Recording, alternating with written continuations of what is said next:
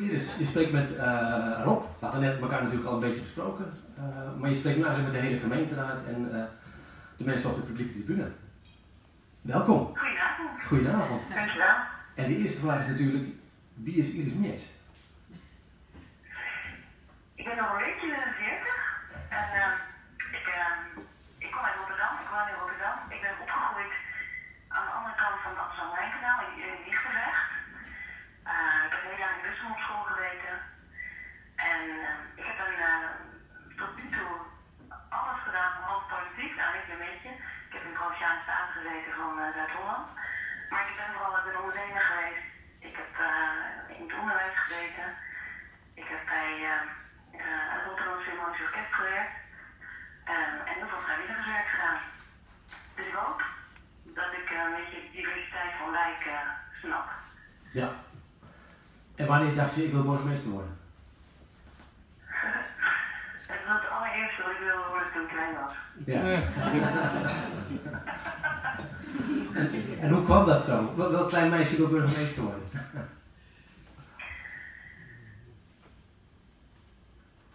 Spraakloos, of je hoort de vraag niet. nou, ik, ik aarzel even om het te zeggen, omdat uh, uh, ik ken jullie de boeken van Annie Eemers Lied? Daar is burgemeester een regelrechte hel. Oké. Okay. De burgemeester die regelt alles voor de mensen. Als er iets mis is, dan is het de burgemeester die het weet te fixen. En dat sprak me bijzonder aan, want ik wilde heel graag de wereld verbeteren. En ik kwam er al snel achter dat de hele wereld verbeteren met twee handjes dat er niet veel gevraagd is. Dus toen was dat mijn meisjesdroom. En toen ben ik bestuurskunde gaan studeren en uh, ben ik gaan kijken of het ook een grote mensendroom kon worden. En ik ben ongelooflijk blij en dankbaar dat de gemeenteraad van Rijk Duurstede mij uh, ook een, uh, een volwassen droom werkelijkheid laat worden. Dus een meisjesdroom komt in vervulling hiermee? Helemaal, ja. Dat is mooi. En waarom wijk Duurstede? Ik ben uh, vlak voor de zomer uh, een heel lang weekend wezen fietsen, wandelen en verblijven in Wijk de Duurstede. En ik heb de sfeer opgenomen.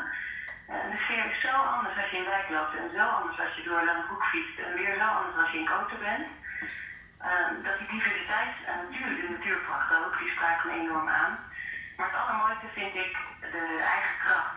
De mensen willen het in principe gewoon graag zelf doen. zelf doen, dat spreekt mij heel erg aan. Het heeft een, soort eigen wijsheid, maar ook een verbinding en die ik heel erg mooi vind. En ik geloof ongelooflijk in de kracht van, van de lokale gemeenschap. En die zie ik terug in de duursteden. Het is net geen koppigheid. Dat heeft nog wel iets met humor. En ik hoop dat we dat erin kunnen houden. Maar het heeft iets heel sterks. En dat vind ik ontzettend mooi om te zien. Ja, ja. mooi om te horen. Ik wil eigenlijk het publiek nog vragen of er nog vragen zijn aan Iris. Wie wil Iris misschien nog wat vragen? Wie durft dat?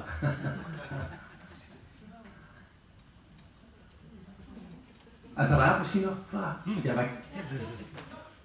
Ah, we hebben hier een vraag. Wat is haar lievelingsdier? Wat is je lievelingsdier hier? oh jeetje.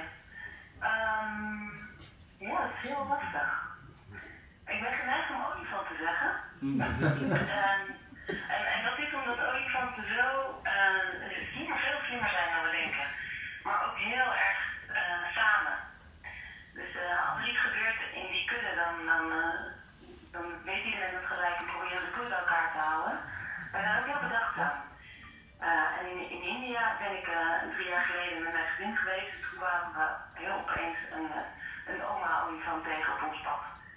En ik kan je verzekeren, het was een hele avontuurlijke ontmoeting. En ze kon ongelooflijk hard rennen een oma.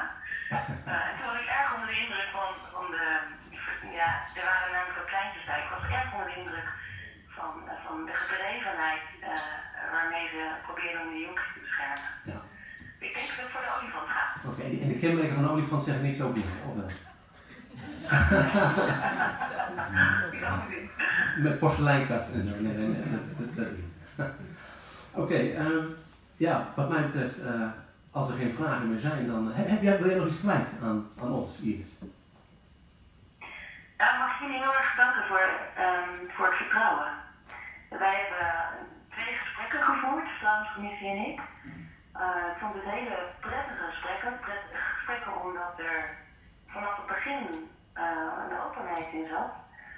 Um, en ik hoop eigenlijk dat we dat kunnen bewaren. Dus dat we in openheid uh, kunnen samenwerken, maar ook eerlijk kunnen zeggen. Dingen kunnen zeggen waar, waar wij beter voor worden. Dus dat, dat zou ik heel, heel bijzonder vinden als we dat kunnen vasthouden. Ja, nou mooi. Doen we graag. Mijn collega's knikken. Ja.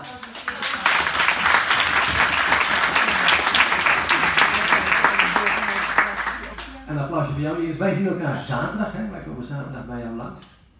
Ja, leuk. En uh, alle andere mensen zien jou uh, op de 16e december bij de installatie. Ja, misschien komen we wel eerder hoor. Oké, okay, misschien wel eerder. Graag. Nou, Iris, tot gauw, zou ik zeggen.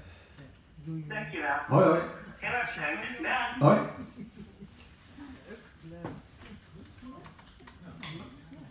Nou, dit klinkt toch heel beloftevol. Een prachtig proces waarin de Raad zich keurig heeft uh, gedragen. Uh, een mooi, uh, zorgvuldig proces volgens mij met een hele mooie, unanieme draagvlak voor de toekomst. Dus ik denk dat ik met deze woorden de heer Simon van der Velde vrij ga geven om zijn verjaardag te vieren. Maar u allen te danken voor dit moment. We zien elkaar over twee weken. Ik sluit de vergadering. Al persbericht gaat binnen nu en een paar minuten de deur uit. Dus u mag nu gaan uh, twitteren en dat soort dingen. Ik sluit de vergadering.